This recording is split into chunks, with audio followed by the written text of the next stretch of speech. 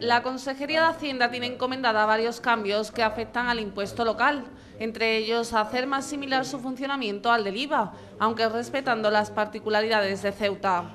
Un impuesto más mm, parecido ¿no? A lo que podría ser el IVA, evidentemente, teniendo en cuenta que tendría que ser con las especificidades de la, de eh, la, fiscalidad de Ceuta. Los productos gancho, es decir, aquellos con menos carga impositiva, son otra de las líneas de trabajo de Hacienda para mejorar la actividad económica de Ceuta y potenciar el turismo, aunque sin olvidar el asunto de los precios del barco. Queremos establecer un programa de cooperación y colaboración con las navieras aunque el propio Carreira reconoce que venir a Ceuta nunca ha sido sencillo, pero que en otros tiempos viajar a esta ciudad compensaba por el comercio. Y sin embargo, venía mucha gente a Ceuta en aquella época. ¿Sabe usted por qué? Por el atractivo comercial que tenía.